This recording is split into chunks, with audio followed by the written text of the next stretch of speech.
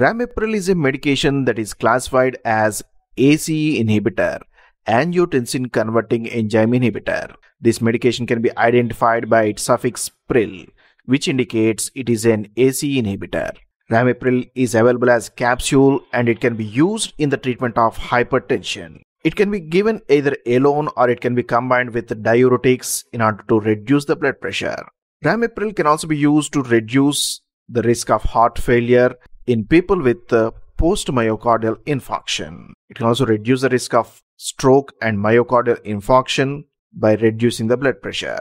However, before using this medication, you should know important facts and what are the important uh, side effects of this medication. All such things we will discuss in this video. Now let us the precautions of Ramipril. Ramipril can affect your potassium levels in the body. Since it is going to affect the renal functionality, it can elevate potassium levels in the body leading to hyperkalemia. This effect of Ramipril can be enhanced when you are taking this medication along with a few other medications that again increase potassium levels in the body. For example, if you are taking potassium sparing diuretics like amiloride, spironolactone and triamterene, they can increase the potassium levels with use of Ramipril.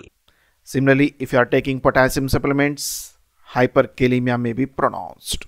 Therefore, while you are taking Ramipril longer periods, try to monitor your potassium levels and try to avoid potassium rich foods while taking this medication. Ramipril can reduce your blood pressure. This is the essential action that is required to treat hypertension. However, this may also lead to another condition, hypotension. This is the lowering of blood pressure to a significantly low levels leading to few symptoms like lightheadedness, dizziness and fatigue. How extent you can see hypotension with use of Ramipril depends on many of the other factors. What are the other medications you are going to take? Any existing cardiovascular or cerebral conditions may also affect hypotension. In a few people, Ramipril can produce significant hypotension where the systolic blood pressure may be reduced less than 100 mm of mercury. However, such potential hypotension may not be observed in all the people and it is mostly enhanced by coexisting risk factors.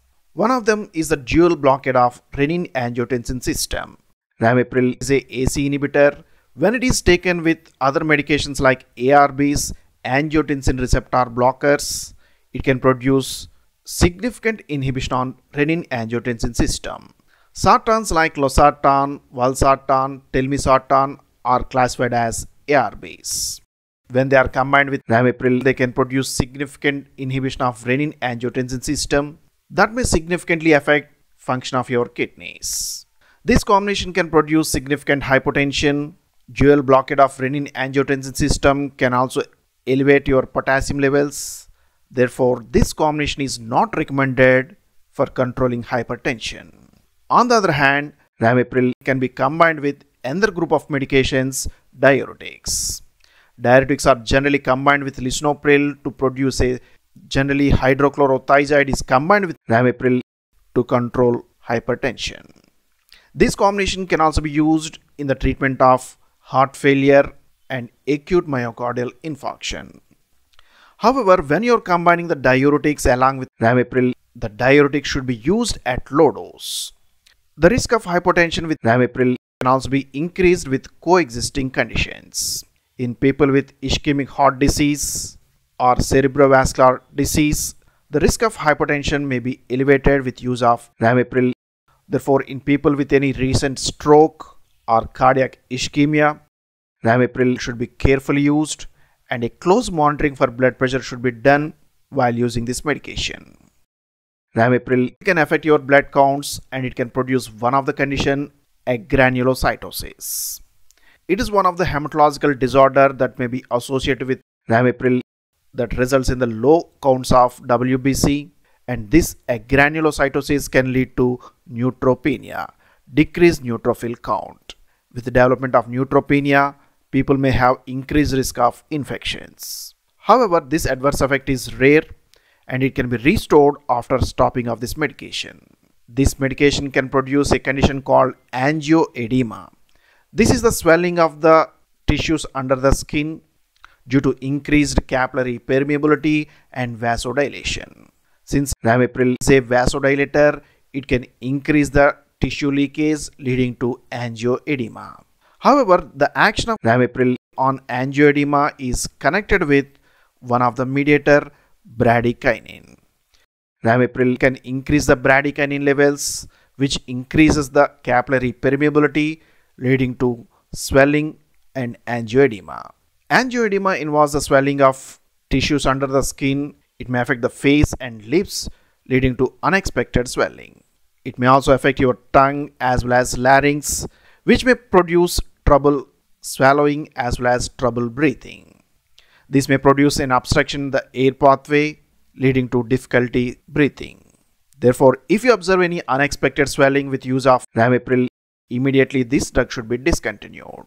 This is again one of the common adverse effect of ACE inhibitors along with ramipril. Use of ramipril may develop dry cough which may be observed within first few weeks of the treatment. The induction of dry cough is not directly related with vasodilatory effects. However, ramipril can increase the bradykinin levels in the body. Bradykinin can produce an irritant response leading to development of dry cough. This dry cough can be observed within first few months of the treatment with ramipril. However, if you observe persistent dry cough with use of ramipril, this medication may be discontinued. Now let us see the doses of this medication. Ramipril is available as capsule at different strengths starting from 1.25 mg to 5 mg. For the treatment of hypertension, it can be used either alone or it can be combined with diuretics. When it is used alone, it can be started at a dose of 2.5 mg per day and the dose may be slowly increased based on the response. However, when it is combined with diuretics, the initial dose is reduced to 1.25 mg per day. Similarly, for stabilizing the people with heart failure, particularly after myocardial infarction, ramipril is given initially at a dose of 2.5 mg twice daily, and the dose may be slowly adjusted based on the clinical response. For prevention of stroke and myocardial infarction, this medication can be given at a dose of 2.5 mg per day for one week. Then the dose may be increased to 5 mg for next 3 weeks. However, the dose may be individualized and it may be variable based on the patient conditions. So that's all about this medication, Ramipril. I hope this video is useful to you. If you really like this video, please subscribe to our channel, share this video with your friends, post your comments in the comment box. Thanks for watching. See you in the next video.